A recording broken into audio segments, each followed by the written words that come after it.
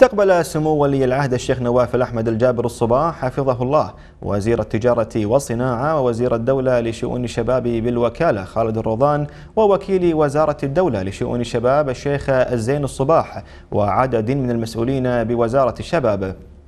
حيث قدموا لسموه هدية تذكارية بمناسبة فوز الكويت بجائزة التميز والإبداع الشبابي واختيارها عاصمة للشباب العربي لعام 2017 وقد أشاد سموه حفظه الله بالجهود الكبيرة المبذولة من قبل وزارة الشباب في إعطاء الفرصة للشباب وتشجيعهم على تعزيز الهوية العربية لهم.